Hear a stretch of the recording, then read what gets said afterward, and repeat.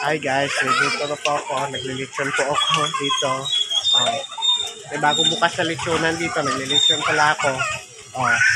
So, magbili na kayo ng litsyon dito. Oh. Kung na kayong pumunta ng malayo. o, sige, apil na ka. Ay, shot ako.